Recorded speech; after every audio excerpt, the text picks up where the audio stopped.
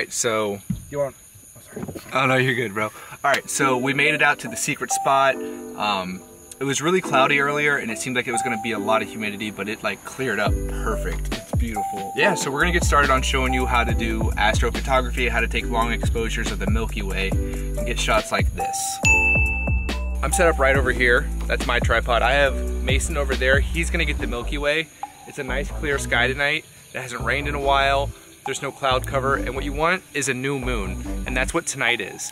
You can shoot the Milky Way two days before or two days after the new moon, but anything after that, the reflection from the moon will blow out your image and you won't get as many stars in the photo.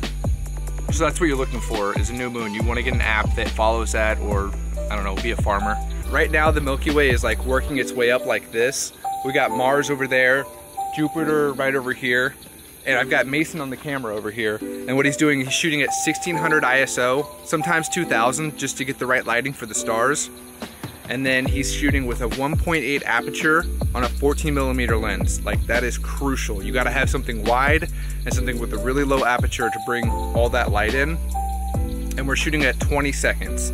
Anything over that, you're gonna get star trails. So your stars aren't gonna look look like little spots. They'll look like lines if you do anything longer than 20 seconds because of the rotation of the earth. And that's a cool effect and I'll show you that in another tutorial. All right, so that's light pollution down at the bottom, the yellowness, which you can get out in Lightroom. Are you shooting raw and flat? Yeah. Okay, so that's one thing I do too, is I shoot raw and I shoot flat so I can pull all that stuff out. So this is the image he got, which is pretty cool. And the Milky Way is pointing at it. You can't really see it. But oh, oh can I see it can right see there, it. It's yeah. right there. It's going right. It's going right through the tree, which that's gonna come out real cool. I'm at 1600 ISO, 25 seconds, 3.5 aperture. Okay. Yeah. So he's even a little higher than I would be with the aperture and stuff, but it came out great. All right. So right now I'm sending Mason over to get on top of this outhouse so we can get a cool foreground picture for the astrophotography. He's gonna find a way up there.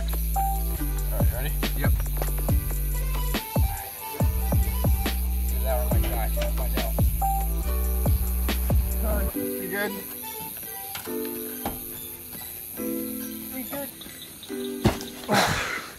We're good. Nailed it.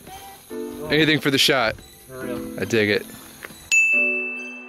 Alright guys, hopefully this video helped you out. If you have any questions at all, feel free to hit me up in the comments. Follow me on Instagram, that's the fastest way to get a hold of me and see more content like this. I'll leave links in the description of all my gear so you can get it yourself. And I'll probably do the next video about editing the Milky Way photography or star trails, something like that. You let me know what you want to see or you want help with. And uh, I'll see you on the next one.